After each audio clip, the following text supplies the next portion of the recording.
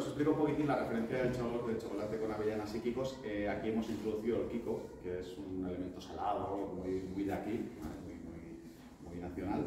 Eh, ese maíz frito salado que lo que nos aporta la sal es ese puntito pues, de, nos ayuda a potenciar los sabores, como decía Jorge, lácteos del chocolate con leche y demás. En este caso utilizamos un chocolate con leche de un 38% de cacao. Y nada, la avellana nos da también ese puntito redondo. Dentro de la receta también hemos puesto pasta de avellana para reforzar ese punto de avellana. Y la verdad que el resultado es sorprendente. ¿Por qué? Porque cuando estamos comiendo eh, nuestra tableta, encontramos en primer lugar eh, dulce y salado, de manera que cuando estamos saturando el paladar de dulce, aparece el salado y nos incita a comer más, y eso nos interesa a todos, está claro. ¿Vale? Eh, potenciar ese, el hacer que no sea aburrido, ¿no? el hecho de comer una, tableta de chocolate tan grande hablando de un kilo. Eh, y después, simplemente es eso, ¿no? que el pico nos ayuda a, cambiar, dejar el registro de lo que nos invoca y también cambiamos la granulometría. El pico lo tenemos completamente triturado y la avellana la tenemos entera. De manera que en boca cada bocado es una experiencia distinta. ¿eh? Es lo que buscamos cambiando la granulometría de los granos que tiene la tableta. ¿eh? Bueno, eh, dicho esto, después tenemos por otro lado el del, del 70% que ha comentado Jorge, ¿vale? que este no lo vamos a probar, hoy vamos a probar el de Kikos, y en el 70% pues, ha buscado lo mismo. En el 70% hemos intentado respetar la pureza ese chocolate del 70% de cacao, añadiéndole ese sésamo, que lo hace todavía más redondo, y la avellana, que es un, hilo conductor en las dos. ¿eh? Que yo he fundido, ¿vale? hemos fundido, en este caso utilizamos eh, varios sistemas para fundir el chocolate María, o bien microondas, o una pistola de calor. Utilizamos un elemento de bricolaje, que es un decapador para, para, quitar la pintura de las paredes. Con eso le damos calor al chocolate, lo fundimos y ya lo tenemos listo. Por otro lado tengo por aquí los kikos eh, triturados. Y aquí me he traído ya unas esferas elaboradas en chocolate para, no meterlas aquí, donde he hecho unas esferas con un agujerito. ¿Qué vamos a hacer? Vamos a encapsular el vino dentro de estas esferas. ¿Cómo lo encapsulamos? Cogemos una jeringuilla, en este caso son 5 mililitros, lo que nos cabe dentro de cada esfera. ¿Y qué va a pasar? Y ahora viene el momento de cerrar esta esfera. Cogemos el vino, lo inyectamos, dejamos hasta arriba, inyectamos un poco más. Fijaos que el chocolate no se derrama, chocolate, al ser materia grasa, lo que hace es eh, encerrar el chocolate y nos sirve de coeficiente. ¿eh? Si esto no lo calentamos, puede aguantar el tiempo que queráis. Hacemos estas tres aquí y listo. 5 mililitros es lo que luego os vais a... ¿Vale? Si hay con espero que no le vamos a entrar. Espero que no. No, creo que no. Vale. Tenemos el líquido ahora. ¿Y ahora cómo cerramos esta esfera? ¿Eh? Porque si yo cojo el chocolate y le pongo el chocolate aquí encima, ¿qué sucederá? Eh, todo el vino se me va a salir. Me quedará la, la bolita rellena de chocolate, pero no, eh, con el, no cerrado. Vamos a utilizar la manteca de cacao. La manteca de cacao es una grasa. ¿vale? Es una grasa. Y como tal, ¿qué pasa con las grasas cuando las ponemos encima un fluido? Cuando mezclamos agua y aceite, la grasa queda arriba. Entonces lo que vamos a hacer ahora va a ser inyectar la manteca de cacao vamos a colocar la manteca de cacao encima del vino. Veremos que pasados unos minutos esta manteca de cacao va a empezar a secar y empezará a blanquear. ¿Vale? Y es lo que os comentaba, manteca de cacao es una grasa saturada. Listo, ya hemos cerrado. Visto que yo he puesto, he puesto la manteca de cacao encima del vino, por lo que hemos comentado. un aceite que está flotando encima del agua. En este caso, la manteca de cacao está flotando encima del vino.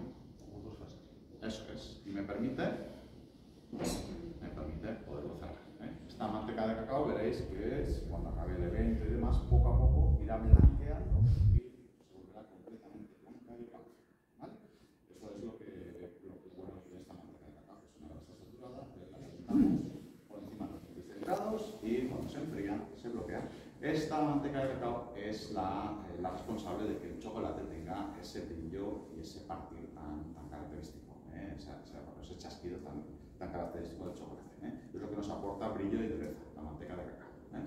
Aquí ya podríamos entrar en eh, las clases de chocolate donde explicamos todos los matices que tiene la manteca de cacao, el chocolate hay que templarlo, por qué debemos templarlo, ¿vale? pues es gracias a la, a la manteca de cacao. Vale, pues, claro, a pedir la pistola de calor, estado aquí hablando bastante rato, vais a ver que esto se me ha quedado muy denso. ¿eh? Voy a coger una pistola de calor, le voy a dar un pelín de calor, que es una especie de secador de pelo. Lo vamos a enchufar, le vamos a dar un pelín de calor para que esto fluya un poquitín más y así de esta manera, mientras se nos secan esta, esta parte de aquí, estas, no sé si, si, os queréis levantar alguno para hacer fotos, ver cómo va secando poco a poco. Es completamente distinta, ¿eh? no sé si con el vino también pasa, que con el chocolate muchas veces eh, una, una, tableta de chocolate y esa misma tableta la fundes y los matices cambian por completo. Eh, consumir un chocolate fundido o consumir un chocolate sólido es una experiencia completamente distinta. Una, una sola referencia podemos tener dos experiencias completamente distintas.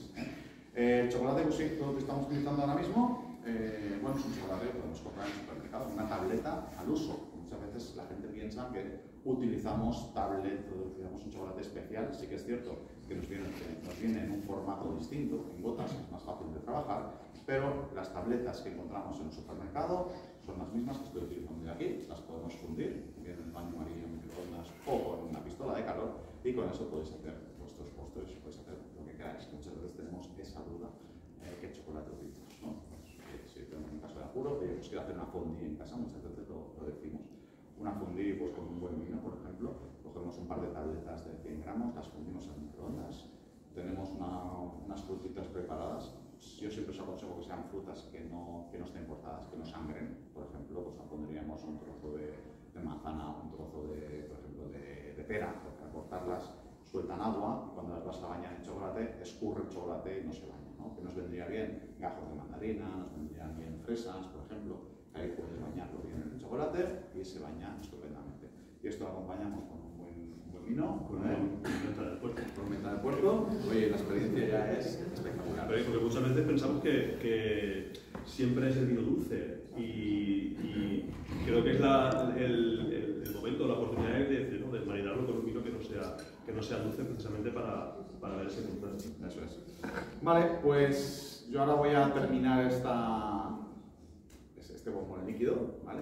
Y ahora os lo van a ir pasando para que lo podáis catar. ¿eh? Importante, son grandes, ¿eh? pero eh, ya que estamos, ya que nos ponemos, ¿no? Lo hacemos bien. ¿eh? Son un pelín grandes. Pero sí que es verdad que no, no podemos morder porque vais a poner perdidos. Ya sabéis que dentro hay vino. ¿eh? ¿Qué haríamos ahora para terminar nuestra pieza? Pues lo que os he comentado. Aquí hemos llenado, está un pelín húmedo aún, espero que no se me caiga. Eh, ¿Veis cómo ha cambiado de color? Esto es completamente de color amarillento y aquí ya lo vemos de color blanquecino. Esto quiere decir que la manteca de cacao ha solidificado y le hemos puesto un tapón. Mismo muchas veces en las botellas le vemos un poquitín de lacre, un poquitín de cera. Pues aquí estamos haciendo lo mismo ¿eh? con nuestro bombón. ¿eh? Aquí le damos la vuelta y aquí no cae nada y está completamente líquido por dentro. Ahora lo vamos a, simplemente lo que haríamos ahora es bañarlo y lo rebozaríamos ya con los picos.